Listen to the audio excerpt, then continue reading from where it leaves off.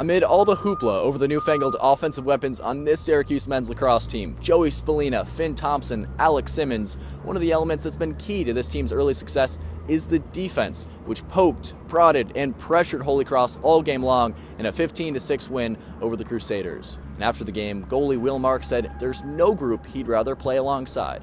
I mean, I wouldn't want to be on the field with any other group of guys. Extremely selfless, hardworking, confident, and we just want to challenge each other every uh, every day, whether it's practice, um, whether it's a game. I mean, I, I absolutely love that group that's out there with me. And then our defense, you know, went after them when they did get a chance. Obviously, they were playing to slow the game down, you know, using the full shot clock. Shot clock violation. So that allows, you know, the more passes you make, the more opportunities to create turnovers. It's a really good defensive team. Coach Pietramala has has those guys locked in, and, and it's hard to hard to break. And you see that. I mean, we're the third game, and and uh, you saw it with the first two as well.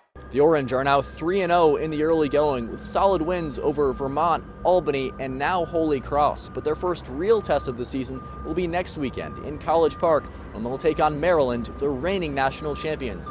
But the Terrapins were upset this weekend by the unranked Loyola Greyhounds. That's something Syracuse will look to do next weekend.